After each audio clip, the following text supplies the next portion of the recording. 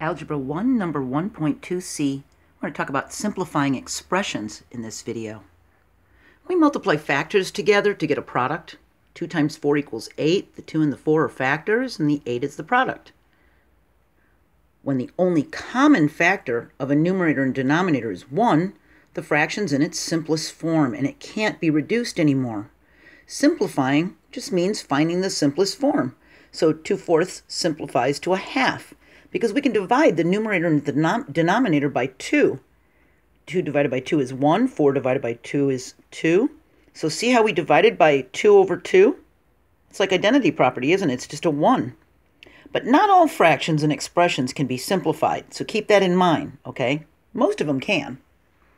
And we can simplify by factoring the numerator and denominator, and a factor of 1 can be removed.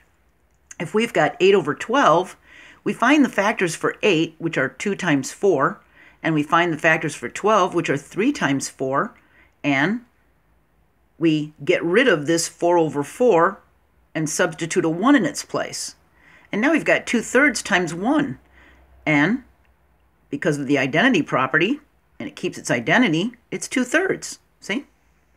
Let's try it again. If we've got 15 over 8, we find the factors of 15, which is 5 times 3, and the factors of 8, which could be 6 times 3. We get rid of this 3 over 3 as a 1, and we're left with 5, 6. See? How about this one? We've got 18 over 72. We've got 2 times 9 is 18, and 4 times 2 times 9 is 72. So what we do is we get rid of the 2 and the 9. See that? It's almost like we're turning that into a 1 and that into a 1. And we put a 1 in as the numerator. Okay? We end up with 1 fourth. Now, we could also do it this way. Let's say we had 63 over 7. We could say 9 times 7 is 63, and 1 times 7 is 7. That's 9 over 1, or 9. See? So we could have said that this was uh, 18 times 1, and we could have found a factor of 72 as an 18, see? And we could have done it that way. We could have also done 2 times 9 and 8 times 9, and we would have had 2 over 8, which would have been 1 fourth. Do you know what I mean? Because we didn't have to do 4 times 2 times 9, did we? We could have done 8 times 9 and 2 times 9. And we would have had to reduce it some more, but this would have canceled out as a 1, and we would have had 2 eighths, which is 1 fourth. See? But we put a 1 up here when we're doing this, okay? We put a 1 in the numerator, and I know that can be confusing, but keep following with me, okay? Now remember, Whenever two algebraic expressions are equivalent, we can substitute one for the other. So if we have xy over 4y, that's really x times y over 4 times y. So this is going to cancel out as a 1, and we're going to end up with x over 4. See that?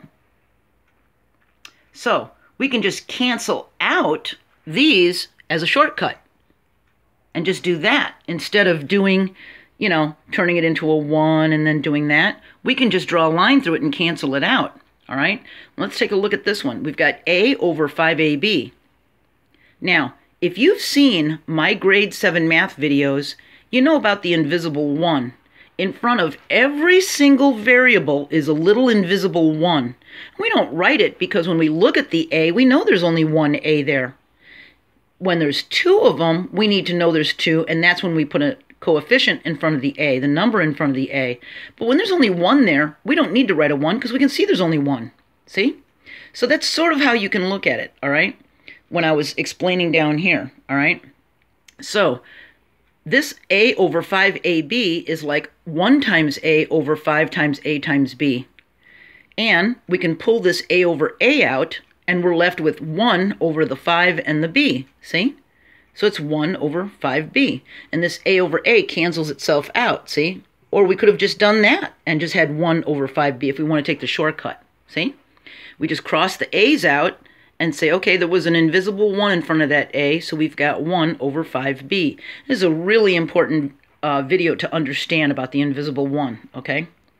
All right, now, if we have 8xy over 4x, that's 8 times x times y over 4 times x times 1. So that's like 8 times y over 4 times 1, and we pull the x's out, see? Now we end up reducing it. 4 goes into 8 two times, so it's like saying 2 over 1, see? 2y over 1. This is 2, there's our y, and there's our 1. See that? So it ends up being 2y. Another way we can look at it is just by canceling out, if we've got 8xy over 4x, we just cancel out this x and this x, and we're left with 8y over 4. And when we reduce this, 4 goes into 8 two times, and the y is still there. See? Now, the next video, number 1.2d, I'm going to cover more simplifying of a little bit more difficult algebraic expressions that might be confusing. And there's a link in the description, or if you're watching my playlist for Algebra 1, it should automatically go to the next one, okay? If you've got the automatic thing set up, all right? So that is how we simplify expressions. That's how we can cancel out.